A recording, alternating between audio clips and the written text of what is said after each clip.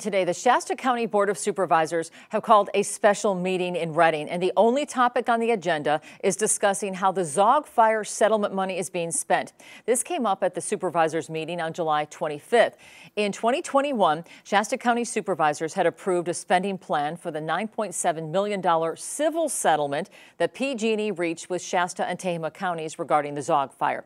Then in May of this year, the district attorney's office reached a separate $50 million settlement in exchange for dropping manslaughter charges against the company for the four people killed in the Zogg fire.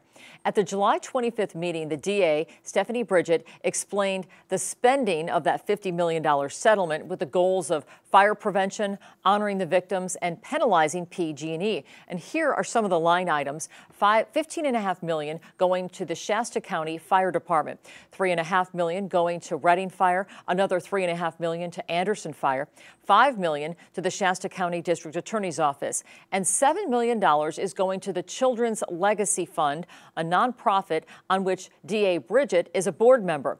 Here are some of the questions raised at that meeting and the DA's response.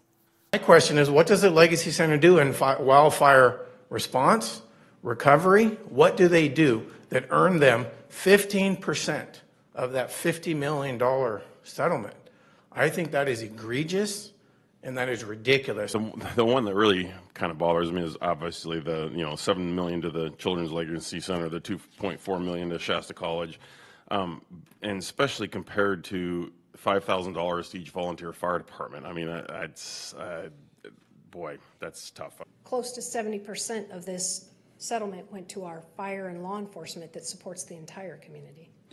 I, I, I guess what I'm struggling with is, is Igo is what endured this, and they're still enduring it.